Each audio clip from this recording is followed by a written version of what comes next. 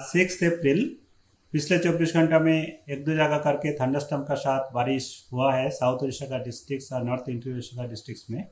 North coastal Orissa का district में mainly dry weather ही था।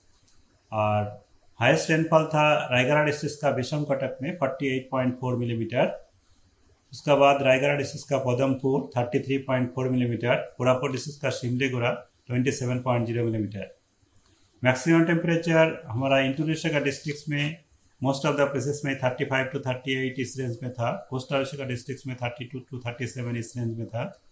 हाईएस्ट मैक्सिमम टेम्परेचर था झारसीगुदा में 38.5 डिग्री सेल्सियस और भुवनेश्वर सिटी में हमारा टेम्परेचर कल था 37.8 डिग्री सेल्सियस अभी अगला पाँच दिन का जो फोरकास्ट हमारा है, अगला पाँच दिन में थंडरस्टॉर्म का साथ एक दो जगह करके बारिश का पॉसिबिलिटी है। कल स्लाइटली इंक्रीज करने का चांसेस है एरिया वाइज इंटेंसिटी वाइज भी।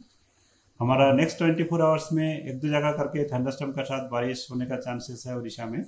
थंडरस्टॉर्म लाइटनिंग का ज़्यादा पॉसिबिलिटी है मालकानगिरी कोरापुट रायगढ़ नवरंगपुर नवापाड़ा कलाहांडी कंधमाल गजपति गंजाम बलांगीर सोनपुर बरागढ़ झारसुगुड़ा देवगढ़ सुंदरगढ़ केवंझर मयूरभंज। फिर हमारा आ, कल सेवेंथ को साउथ उड़ीसा का डिस्ट्रिक्ट में thunderstorm lightning activity slightly increase करने का चांसेस है। इसमें कुछ कुछ स्थानों पर नॉर्थ उड़ीसा में एक दो जगह करके थंडरस्टॉर्म लाइटनिंग के साथ बारिश का पॉसिबिलिटी है। Thunderstorm lightning gusty surface wind hails भी हो सकता है एक दो जगह में, गजपति, गंजाम, रायगढ़ कंधामाल डिस्ट्रिक्ट के अंदर में। बाकी डिस्ट्रिक्ट में थंडरस्टॉर्म लाइटनिंग का वार्निंग है।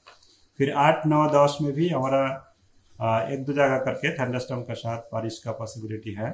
अभी मैक्सिमम टेम्परेचर जो है मैक्सिमम टेम्परेचर व डे टेम्परेचर सिग्निफिकेंट चेंजेस होने का पॉसिबिलिटी नहीं है। प्लस माइनस वन टी डिग्री का अंदर ही रहेगा। बट पिछले दो चार दिन का पहले से अभी टेम्परेचर इंक्रीज किया है तो इसलिए अभी हमारा नॉर्मल का आसपास आया है। मोस्ट ऑफ़ द प्लेसेस में नॉर्मल का आसपास है।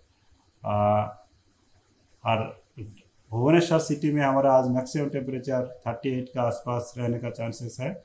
पार्टली क्लाउड स्काई भी होने का चांसेस है। ठंडारी का साथ एक दो जगह में कुछ कुछ एरिया में बारिश भी हो सकता है।